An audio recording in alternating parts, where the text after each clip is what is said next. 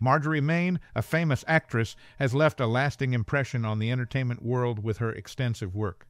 Whether it's a well loved film or a role that's not as well known, many people have a special fondness for her. Are there any interesting stories about her that catch your attention? Share your anecdotes and memories in the comments below. Stay tuned as we explore some funny, shocking, and even sad facts about this classic actor. Keep watching for more insights into her life and career. What's your most cherished memory or personal experience related to this legendary actress? Join the conversation and share your thoughts. Marjorie Main, a well known actress, made a lasting impression in the film industry. Her performances were a mix of talent and charm that captured audiences around the world. Famous for her excellent acting skills, she has earned her spot among the greats of the silver screen. If you love movies, you should definitely watch hers.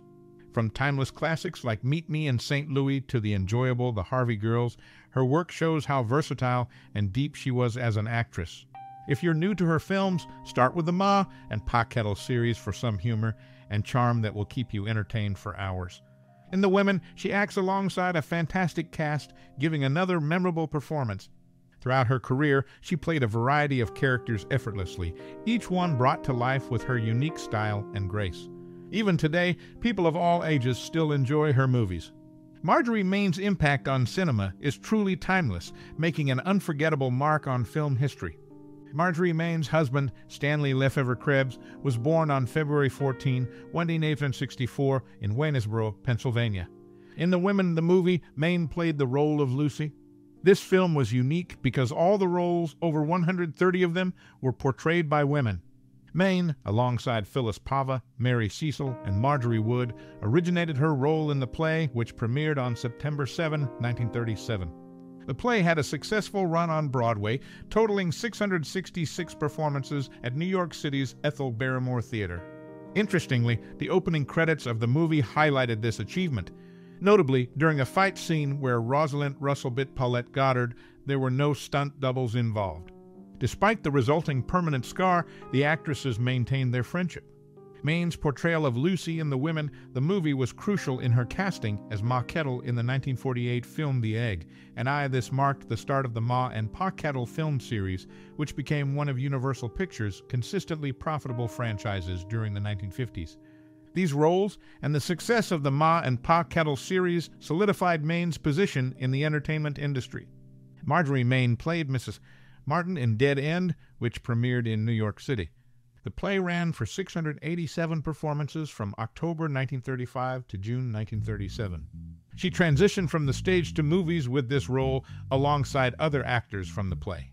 In 1973, James Robert Parish highlighted Main's career in The Slapstick Queens. Stephen Silverman also profiled her in Funny Ladies, published in 1999. Marjorie Main's journey from the stage to the screen is notable in the realm of entertainment. Her performance in Dead End marked the beginning of her successful career in movies. Her achievements were recognized in books by Parish and Silverman. Marjorie Main, famous for her unique roles in Hollywood during its golden age, had a peculiar habit that made her stand out. Even in the glamorous world of movies, she did something unusual involving her late husband, Stanley Krebs. After he died, she stayed connected to him in a special way. According to Debbie Reynolds' book about her life, Marjorie would often go to the MGM cafeteria where many famous stars gathered. She brought her husband's ashes with her and would order food for him as if he were still alive, talking to him as if he were there. This act of love and devotion left a lasting impression on those who saw it.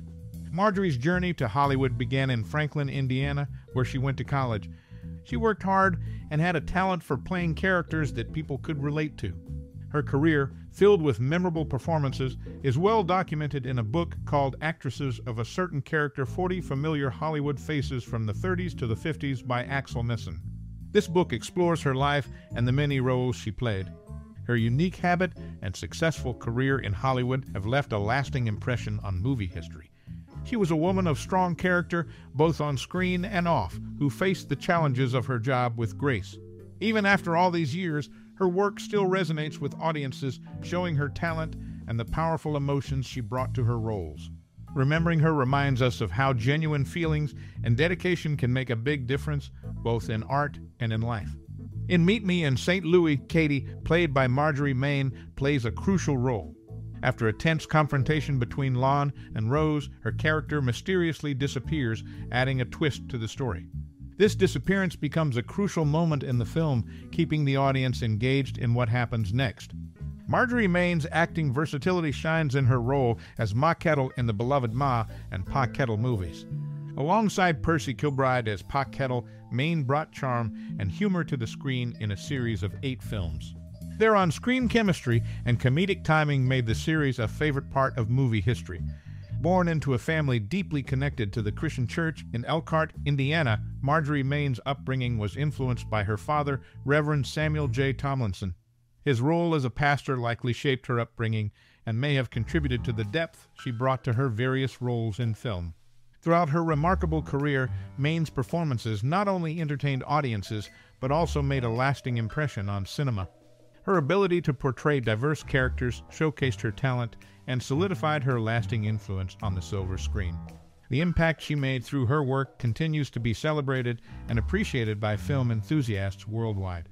Marjorie Main, known for her role as Ma Kettle in the Ma and Pa Kettle film series, had a longtime companion, actress Spring Byington. Despite her association with Universal International for the series, she was never under contract with them. Instead, she was loaned by Metro Goldwyn Mayer. In her career, she appeared alongside Judy Garland three times. They shared the screen in Meet Me in St. Louis, The Harvey Girls, and Garland's final MGM film, Summer Stock. Marjorie Main's collaboration with Spring Byington and her work with Judy Garland are notable aspects of her career, showcasing her versatility and talent as an actress. She left a lasting impact on audiences through her memorable performances in these films. Marjorie Main, best known for her role in The Egg, and I in 1947 alongside Percy Kilbride, made her last on screen appearance in two episodes of Wagon Train in 1958. Despite not appearing in many films later on, she remained connected to the industry. In 1974, she attended the premiere of That's Entertainment, joining colleagues at the post premiere party. After their successful collaboration in The Egg, and I, Main, and Percy Kilbride reunited for feudin', fussin', and a fightin' in 1948, their only non-Ma and Pa Kettle movie. Marjorie Main had unique habits like wearing white gloves and a surgical mask due to her fear of germs. Her cautious approach reflected her concern about contamination. Throughout her career, Main made a lasting impression on the film industry, showcasing her talent and dedication. Her collaborations and memorable performances continue to be celebrated by audiences worldwide. Marjorie Main appeared in seven films alongside Wallace Beery, such as Wyoming, Barnacle Bill, and The Bugle Sounds. Even after her husband Stanley passed away in 1935, she continued to converse with him, sometimes pausing scenes in movies. In Mrs.